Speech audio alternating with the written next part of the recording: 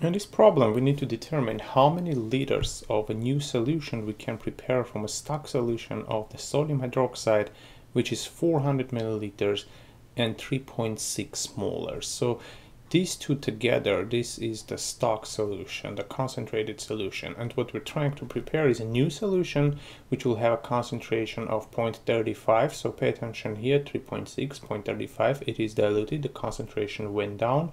So we're trying to find how many liters of that solution we can prepare.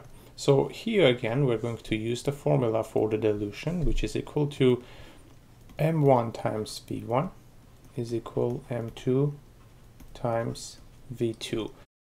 Now we know the m1, which is 3.6 molar, the v1, we're going to take 400 milliliters of the stock solution and pairing a new solution, which is 0.35 molar, so trying to find the v2 v2 is equal here, if we just rearrange this equation a little bit, is equal to m times multiplied by v1, and we're going to divide this by the final concentration of the solution. So at this point, we just need to put the numbers. So m1, 3.60 moles per liter, multiplied by the volume, which is 400.0 milliliters and we're going to divide this by the final concentration which is 0.350 moles per liter. Cancel the units of the concentration. And so our answer is equal to 4114.2 milliliters. So what we want to do here is pay attention to the significant figures. We have three significant figures.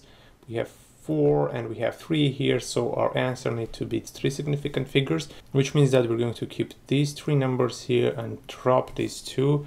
So this is equal to 4110 milliliters. Now in the last step we need to convert this to milliliters. So the volume in liters will be equal to 4110 milliliters multiplied by this conversion factor.